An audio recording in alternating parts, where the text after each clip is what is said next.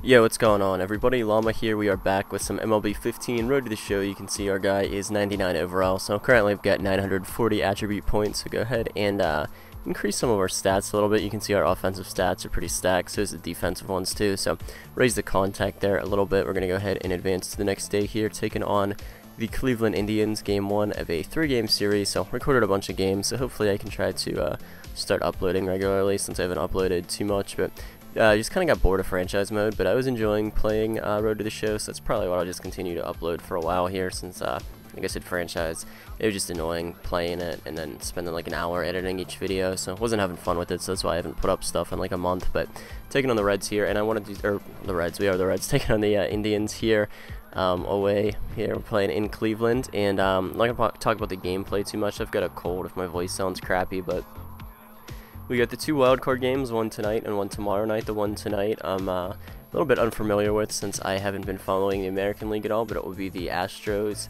uh, taking on the Yankees in New York, and here are the uh, pitching matchups for it. So going on the hill for the Astros, you've got Dallas Keuchel, if I'm pronouncing the dude's name right. So his stats this year, 20 and 8 with a 2.48 ERA and uh, 216 strikeouts. Versus the Yankees this year, he was uh, 2 0 with a 0 ERA, pitched 16 shutout innings and compiled 21 strikeouts. So the dude has been a monster all year against the Yankees. He only played two games with them or whatever, maybe three games. I'm not sure, but um, might have got some the decisions in there. But anyways, he uh, shut him out on 16 straight innings, so that is uh, pretty great stats.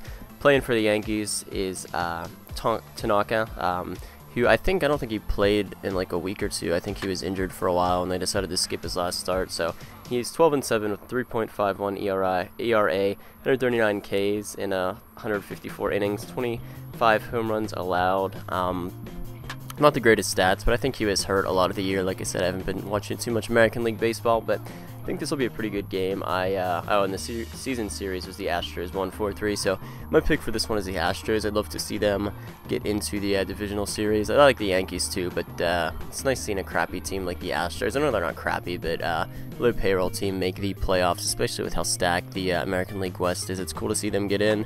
I guess uh, I don't know if Texas. I guess Texas ended up winning that division. I wasn't paying too much attention to it, but uh, looks like the Angels missed the playoff shit again. They've got such a stacked lineup for hitting and defense, and then not the greatest pitching there. So you think they'd spend some of the uh, Pujols and Trout money on pitching instead? But um, yeah, I like the Astros to win this one. And now game two, or uh, the other wild card game, which will be tomorrow night, will be the uh, Cubs in Pittsburgh taking on the Pirates. I actually get to go to the final game. Uh, against the Reds, the uh, game 162. I think it was Sunday. We watched uh, Happ pitch like six uh, shutout innings. They won four nothing, so they won and the Cubs won. But since they won, they had one more win than the uh, Cubs, so they get home field for the wild card, which is kind of weird.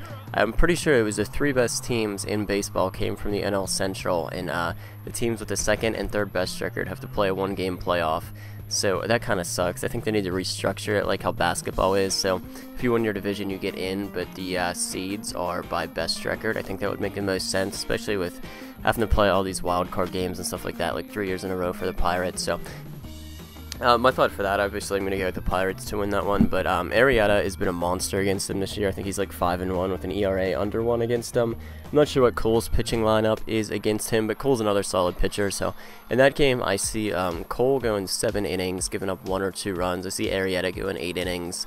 And I think the winner of that game will be either in the it will be decided either in the ninth inning or in extra innings. I see that one being really close up into an end, and um, I think someone's going to end up breaking it open uh, later on in the game and scoring like three or four runs uh, in one inning to win it. But yeah, my choice is the Pirates and Astros to win both wild card games. So, like I said, sorry my voice sounds like crap and I'm like stumbling over my words, but got an awful uh, sinus infection here. So that's it, guys. What's everyone else's prediction? And then to uh, go to the World Series, I think the Dodgers are the best in the. Uh, and now their, their pitching is just stacked in the American League. Um, I don't know. I'm not following the American League teams too much, but um, I don't even know all the teams that are in it. That's kind of sad. I probably should have looked it up before this video, but yeah, you got the Dodgers uh, going, and I don't know if they can win the World Series, but I think they are going to be the strongest team in the playoffs. So that's my thoughts on it, guys, and uh, that's it. Thanks for watching.